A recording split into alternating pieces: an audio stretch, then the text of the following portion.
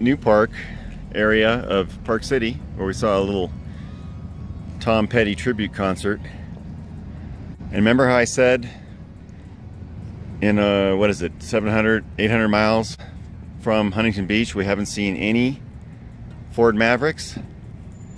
Well guess what?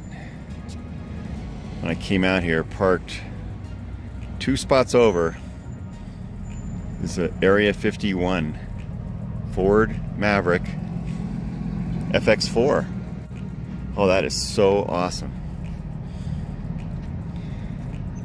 side by side It's got the FX4 wheels.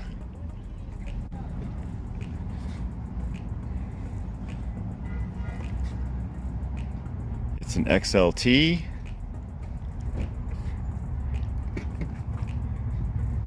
Wow, he almost lined it right up